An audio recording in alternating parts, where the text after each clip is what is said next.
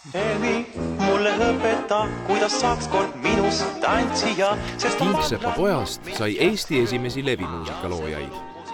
ta oli nagu kõikide oma, samas isiksusena ta võib-olla oligi lõpuni üksi.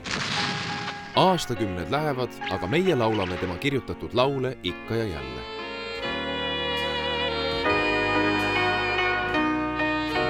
teemaõhtu meenutades Raimond Valgret. Pühapäeval alates kella poole kaheksast ETV kahes